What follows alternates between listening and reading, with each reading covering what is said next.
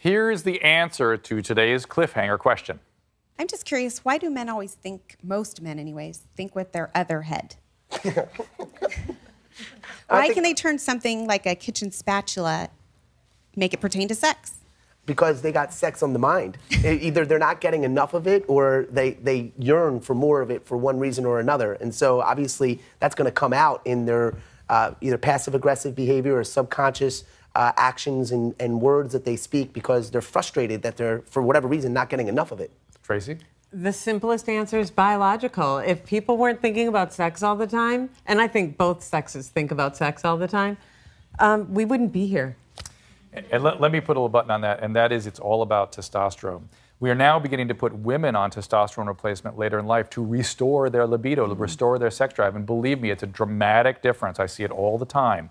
That when the testosterone comes in, sexu- sexuality and sex drive libido wakes back up. And men, particularly young men, are in testosterone storm.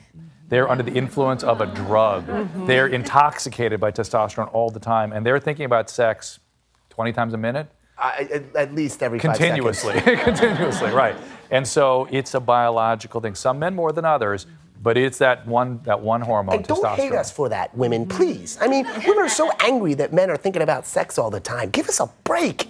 in fact i will tell you that women that go through sex uh, change transformations from female to male always start i've seen this many times they'll go oh my god i had no idea i'm so sorry I had no, I had no idea you felt like this all the time. They like, become sympathetic to men. It's like that's such a burden. How tough that must be to be thinking about this all the time. Steve, I know you've been burdened. Oh, I'm, You okay? it's, it's, You all uh, right? it's like across the bear in life. I don't All know right, how you're I survive. Thanks for the question. okay.